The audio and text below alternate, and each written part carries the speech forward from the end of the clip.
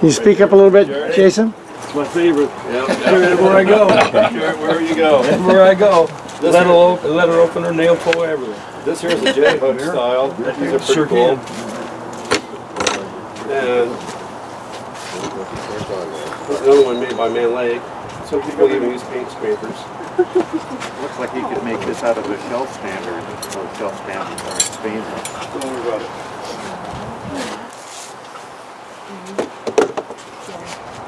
So these things are, not only do you use them on your frames, but they're great for chopping blackberries out of your way, you know, that are next to your hive, pulling hornets, ants, all that Great for good pulling off a stinger too. Oh, yeah, that, Hey, you'll see the little duplex pump going for it. So the sooner you can get that out, the less venom you're gonna get stuck in you.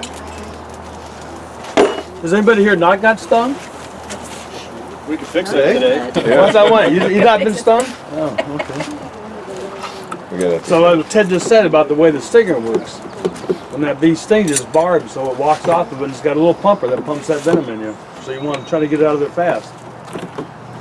Still hurts no matter what, how fast you get it out. So, let's look at this. The width right here, and the width right here is the same as this hive tool.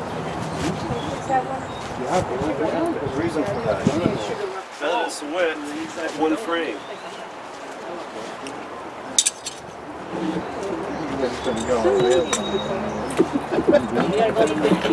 Exactly, it's hard to have Oh, between years, yeah. Yeah, so that's with the one frame if you're going between years. Depending if it's a deal. So J hook style, if you were to get inside of a hive, some people like to have their frames pushed all over to one side. Some people like to spread them out evenly. But with the J hook style, you go ahead and and you uh, break the frame loose from the propolis on the other ears, and you can take this J hook here, go down in between, lift up like so, You rip the top right off. and then pull out a frame. Okay? With the J hook, you got to be careful when you do that, especially if there's lots of propolis, because you can actually separate the top wire from the side. That's why you may. So be careful when you use the J hook in that manner.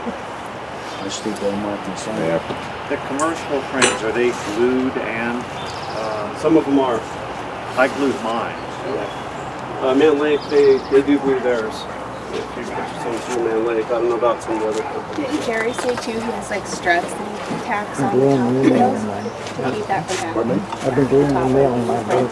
Yeah, he, They're glued, they don't necessarily prevent them. That was so Our neat propolis inside. is stronger than I had staples, I still have it. Yes. I think it's something like a little metal piece. yeah, it's a that metal, attaches. it's a metal bar that That's what it is. put on that goes Getting that right down, up we around get, it. get into so the wood, you're not once catching we a lot of slow wood. it down Yeah, catch enough. For, for each On the, side. on the edge of the. Uh, the new one side here, frame. Yeah, yeah. I got You one. get right in there. It's supposed to get right up underneath the top bar like so, and then wedge it up so you can go in and pull out a frame. Does someone have a patent on that? I'm sure they do. Yeah, none of these are new. These, these- these tools have been out for a long time. Uh, this one here, if you want to get in there, go and break the frames loose. I always like to start on the outside frame first because if you go and uh, if you try and uh, take a frame out that's more towards the, the center, you don't know if there's a queen on there, and you don't want to roll the queen once you pull the frame out. So I always like to pull out the outer frame or and, and get that out of the way. That way I have some room to go ahead and manipulate the other the, the other frames out of the box if I need to. So pull that out. Now we have some room so that we can pull out a frame without fear of rolling the queen and killing it or damaging it. When you say rolling, you're talking about the motion of sort of wheeling it out. You You're, you're bringing her up, you're bringing the frame up, and your queen is actually rolling on the frame due to contact between the two frames, especially if you have drone cells on the bottom. Drone cells on the bottom protrude out a little bit further. As you bring that up, if your queen's on there, it'll scrape her right up against the other dome on the opposite frame. Okay? You don't want to kill your queen. So try and give yourself a little bit of room if you want to pull out a frame. That way you don't injure your queen. What the bees are gonna always do, they're gonna always, in the center or all throughout the frame, and you can't see it, they'll do bridging. Or just like Jason said, they'll do a lot on the bottom of it. They might put, there may be queen cells down there, there may be drone cells, but it'll be thicker. When you put those in there, you're only about a three eighths of an inch apart. when you have eight, nine, ten frames in there, especially you guys will be starting out with foundation, so you have ten frames. And uh, they're gonna fill that in, they wanna be walking back and forth in that, so what Jason said, you always take that outside frame out. Typically, there's not gonna be any bees on there, very few, and that gives you, you can pull your frames apart and give yourself another, an inch. You can look down there, you can see your bees and roll, bring it out so you don't roll your bees up, make them all upset.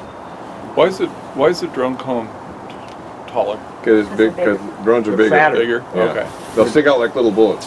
That's why they got the name drones. They just drone around, they're fat, and they just eat honey and lazy. Are there any top bar people here? Pull up your hands if you're interested.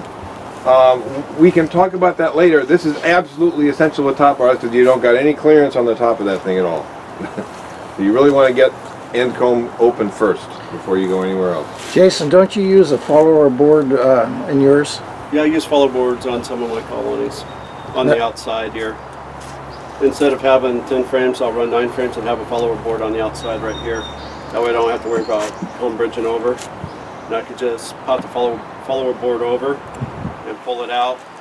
And then I've got all the room I need to walk, to go ahead and manipulate the nine frames there. the board is just the top piece. No, follower board is, That's correct. Solid. it's, it's a solid board that goes in there. And it's the any width that you want to make it. It's just a solid board. And it it rides on, uh, So rather than having a foundation in Loop there, you like just have a, a board in there. oh, thank Yep. you. Yeah, just like that. That's a follower board. Right here.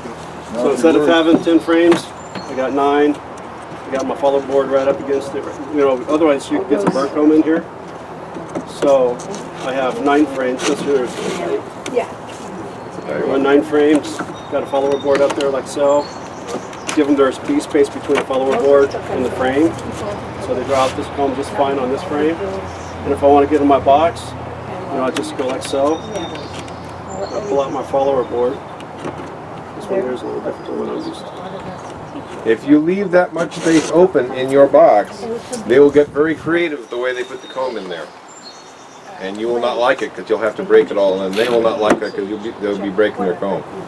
So if you want to, if you want to leave that much space, make sure you have it walled off so the bees can get in there. So some other ways, you're going to find that it's a challenge, especially in a very strong colony, to pull out the very first frame. So that's why you want to go ahead and break it loose from the sides, break it loose from the other frame. Uh, this one here, you saw the J hook go ahead and pull out the frame from the side using this method, right? Mm, So you gotta be careful with that. With this one here, just go and jab it in, you know, the corner right here. You pop it up like so, okay? Then you pop this one up. Then you go and use the side of the box. Go ahead and hold the frame over while you move your hand over to pull out the frame. All right. Now, these things are also used for cleaning out your boxes and your frames. Eventually, you're going to start losing your bee space because they like to build up the propolis along the edges here. As you pull out frames and put them back in, the propolis builds up on the on the sidebar here. So these are used for cleaning out the sidebars to get your, your bee space back. Otherwise, this one here is running out of bee space already. So is that normally what you're doing whenever you open them up, is No. scrape the sides? Not every time. You'll, you'll know when it's time. It starts to Basically, get when like you can't that. pull a frame out, it's really tight. It's time to do a little bit of cleaning. Um, and these are also used for cleaning the sides of the boxes right here. This this tool here is better than a J-hook as Yeah. far as cleaning out the rest. It gets right in there, cleans it out nice, nice and sharp. Uh, you'll find a lot of propolis builds up in these areas right here too, and, and this is a great tool for, for pulling that out. This one here, I find that I gotta go like this, and it's, it's a little bit harder to go ahead and go in a sideways dire- direction trying to clean this out. You just use something like this where you can just pull and get the propolis out. Now, if it's an active colony and you're pulling your things out like that, and you're cleaning the rocks, what you do is your frames in the meantime. Okay, so we're gonna pull out the first frame. There's different things that you can do with the first frame. We have what's, uh, it's a commercial uh, instrument called a frame rest, and we have it here. And it actually sits here on the edge of your box, and you put your frame right here and That's just hold it. about, because if you that, then you're gonna clean your, but then you don't wanna lay that on the ground. Right. Yeah, Look at the frame rest. there you go. Nice little frame rest right here. You can put that right there. Isn't that neat? I could. I don't, I don't have a frame rest. Uh, it's just an extra tool that I have to carry out to the yard, so I'm uh, on the ground up against the box type of person like that. And and when you do that, you gotta be careful that you don't step on it. So you gotta be aware where be aware where you put your frame. Something else that we can get rid of. Yeah, it's big. Now, if you're pulling your It's frames, big, then you're yeah. worried about. Problem is I have to carry the stand, you right, the top part, you gotta, you gotta put them somewhere. Okay, so you could have it. You know, it's kind of difficult to tell which box she's in unless you've been in it recently. Uh, there, there are some indicators as to how the bees act on the front porch, but where they're fanning at, primarily at, that's the general area where she's supposed to be in the box.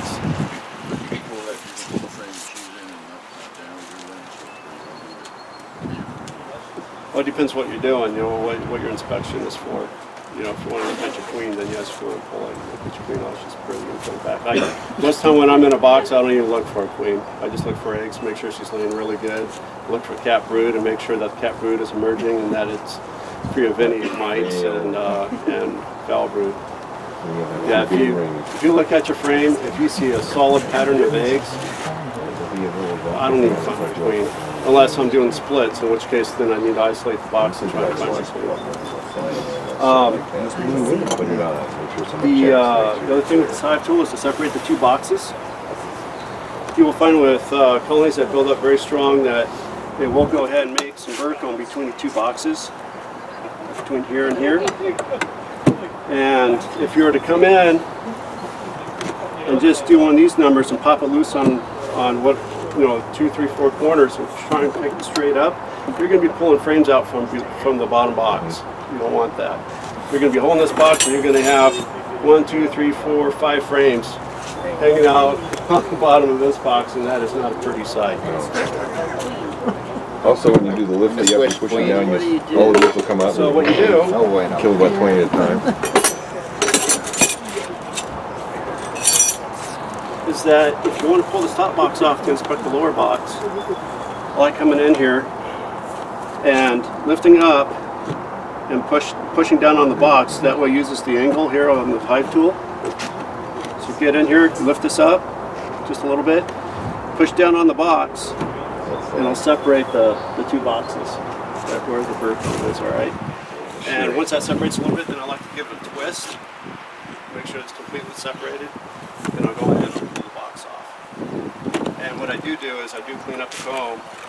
Any protruding comb that's coming away out here, I do clean that up because I don't want to smash bees or a queen. And while you're doing this, you're using your smoke too. When you're Lots cracking them boxes, you're smoking down in between the boxes, you're smoking down your frames. Like Jason had it tipped up there, you want to smoke it before you, when you scrape them, you don't want to scrape all your bees up. So there's there's two different type of inspections that I use. One is a thorough and one is a not so thorough inspection. Thorough inspections are when you go in there and you individually look at a handful of frames. You're either looking for your queen, you're looking for disease, you're looking to see if you can see phoretic mites on the bees. You know, that's a thorough inspection, going frame by frame, one box or both boxes, okay? When you have so many beehives, you only need to do a thorough inspection maybe once or twice a year to see what's going on with your box.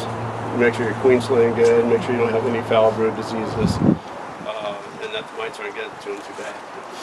Uh, the not so thorough inspection is one that you go into the box and you want to make sure that they're not going to swarm on you. Okay? And what you do for that inspection, it's real easy.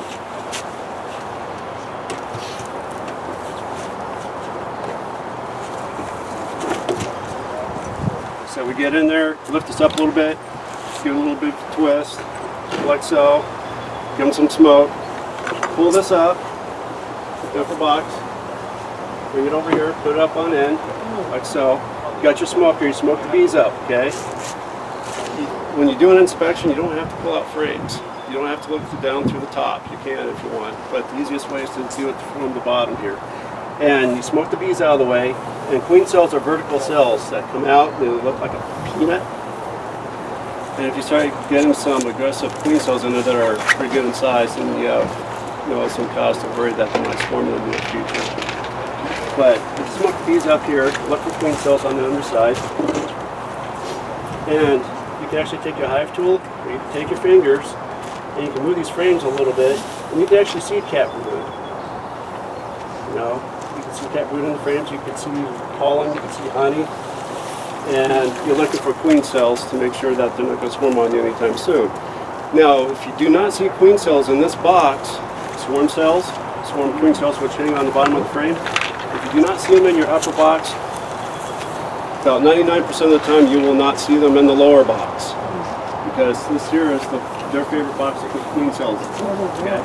So if you don't see them here, then hey, you're done. Box back on. The inspection is done in less than a minute. Okay? And if you see them, If you see queen cells, then you have to look at what stage they're at. You have a queen cell, then you got to determine whether or not your queen is still in the box. If she is, it's time to do a split real quick. Get her out there with two frames of uh, of brood and the hearing bees. Put her in a nuc box, stick some bees in there, and take care of that split. And uh, and then from there, there's different, there's different management approaches to go ahead and try and get a good queen queen right again.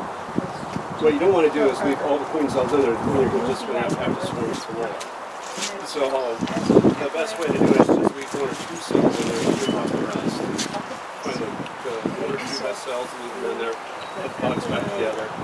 But that's not the way I like to do it, because now the whole colony is going to eating that one queen, keep it going. If she doesn't make regular, she has to go back and lose the colony. So there's different methods to go in and recover from that. That's another class. How are we gonna know these? Learn by doing. Hey Jason, you don't, you don't check the bottom box? They already did the bottom box? If you go into the newsletter archives on the website, it'll tell you how to handle that situation. Uh, It's in June or July's article. Or you send one of us an. What do you do to reassemble the hive? Put the colony back together. So, if you're gonna do a thorough inspection, you wanna go ahead and do this box first. Why is that? That's where the bees will be? Hmm?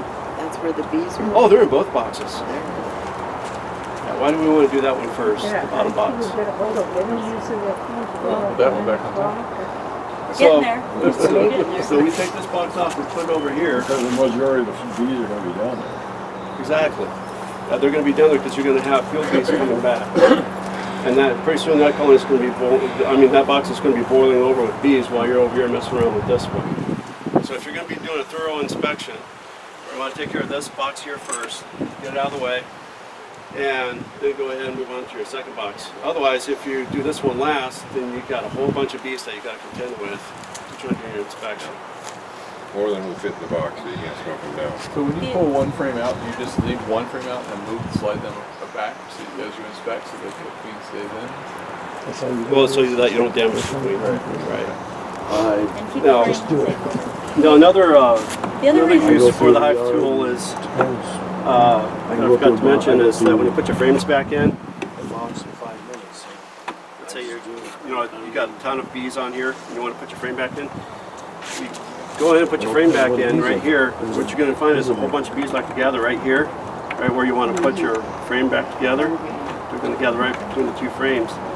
So what I like to do is bring it up close and take my hive tool and put it in there, wiggle the bees out of the way, then you push this up against the hive tool. That's smaller than bee space, you're not going to get any bees in there while you have that space there. And they don't like it, like it when you do that, so some will follow you up.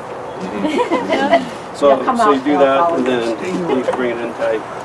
another uh, reason why you do the bottom box first is because bending over gets to be really old, it gets heavy when you're doing that, so I start on the heavy box first and then put the top box on. And you're standing more upright. Oh, there he is. So reassembling, uh, George was uh, asking about that a couple minutes ago. Make sure that the comb is clean right here. You don't want to crush any bees when you go to put it back together. Make sure the comb is clean off the top bars right here too.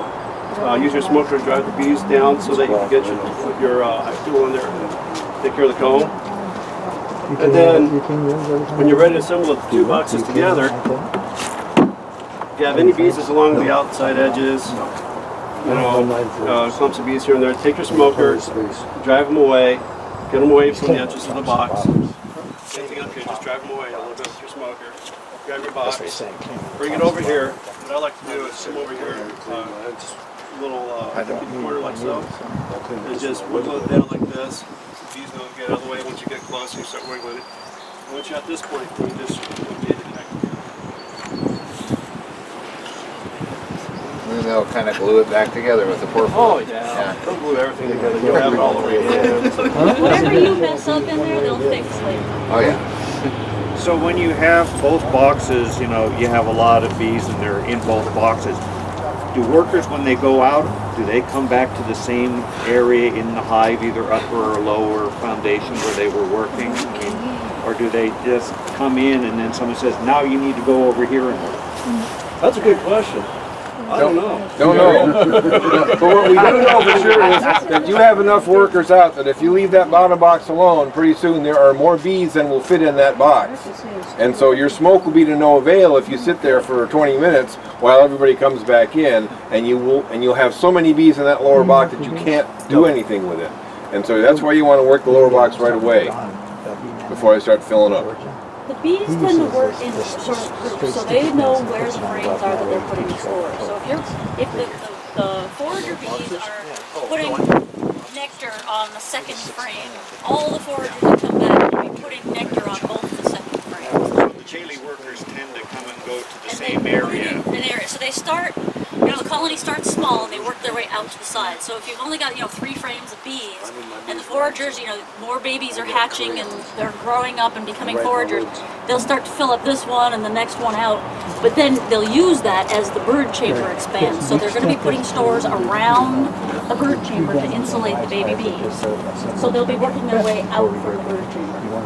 And where does, where does the drone go? Is it on the outside or is it down towards the bottom? If you don't give them a space to put it, they'll put it kind of wherever they want And to. anywhere they can. They, they want to grow 20 to 30 percent drone comb, and if you do natural comb, they'll do that. In this kind of situation, they are forced to put in worker comb, and so they put drone comb wherever they can squeeze it in. So you want to be very careful with bee space in these guys, because if you leave enough space, they'll just go crazy putting drone comb in So if you want to do the drone management for mites where you have the, the separate drones, where would you put that? Number four, number seven position. Very Everybody knows where number four, number seven is? One, two, three, four. Ready, things like that. Lights with storage to the point. Either side. That is if you put two in. Put one in, you put in number four, position number seven. I found that it really doesn't matter as long as it's past the second frame, you can do it on the third one. Because this here is primarily your honey frame. This here is honey and pollen, second frame in. Um, that's what I found out a lot about, is that this here is a pollen frame. Uh, I think Jerry, Jerry's gone, but Jerry finds out the same thing also, that this here is a pollen frame. on Yeah, it's usually pollen.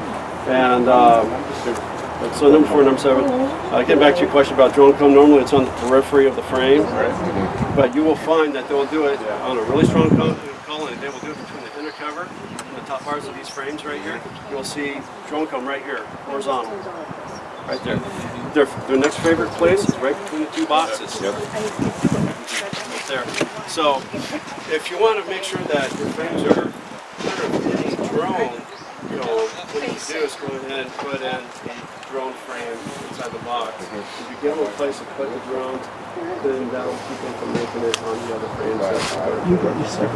So how does the drone frame differ from the stand? It has larger cells. Oh, what? So there is drone foundation. Correct. It's uh, green colors and it sells it up here. You can also make your own. There's one, two, uh, there's one, two, doing it. You can pull this out. Even though it's deep frame. Can put a western frame in there. Western frame is the short ones, and they'll draw all this in the drone comb right there. Uh, the problem with that is that they'll attach that to the top part down below. It makes a each time you do a hive inspection. The other way is to take one of these make your own, which we use for trapping mites. In which case you put a bar, a wooden bar, right here, about an inch and a half down. The top of the wooden bar right there, it goes straight across. And this here's all foundation. Then we make all of that, well, not foundation, I'm sorry. Foundation is up here. But from that bar down, there's nothing. And we'll make all this on drone comb right here. And what do you do for in your house? Do you do drone management? I do drone management. Yeah, all the mites love to go to the drone cells. And so I go and I pop in a couple of these. I also do queen rearing, so I need the drones for mating purposes. So I go ahead and I got drone comb in a lot of my colonies, and once they're capped off, I bring those along with the urine bees back to my house for mating purposes. And I just load the mites up on a couple colonies. It's a beautiful thing. And the rest of the colonies are nice and clean. But uh, there's anybody s- subscribe to Yahoo group? Nobody's on the Yahoo group? Oh, Yeah. Lord. Yeah, you're all Go to the subscribed to group. me. There's all kinds of info on there. I've got pictures of drone comb and what you can get the mites out of. Just animals. Yeah. Yeah, here's your drone comb right here. So you use it to, Ah. See how much larger it is? For, track for the mites? to track the mites, and you wait till the cell is capped off, then you pull the frame out, and with that one there, you would freeze it, and then wait 24 hours, and then take it out, take a wax cap and scratcher to it, to open up the cells, then put it back in the box, and then have the bees clean it out. This method here, where you draw the wax progressively, what you do is, Oh, once all the drill cells are capped off in here, then you just pull this out, cut that out, piece of your chickens, and put it back in. So would you put this in, in place of one of the frames, Yes. right in the beginning? So you're using drones as sacrificial bait for the mites? Here's an example of, of a- uh, this is a top bar frame, and you'll see that the, the, these very large combs up here, and the worker comb down here. So this is the drone comb up here, and the worker comb down here. If you had it in a Langstroth lab, they'd do the same thing. If they need to build some drone comb, they will find a space and squeeze it in somewhere, and it'll usually be going crossways to your other. Yeah, they like, they like to do a diagonal stripe down the side and top part. Frequently. Here you I had a question when you were talking earlier about cleaning out the uh, process. Uh, So you're in the box and you make some room down here by removing a a bar. I got a bunch of them. Then are you going, Yeah, and you talked this is about always my favorite, diesel way yeah. when you tighten them, but are you The going things it won't do.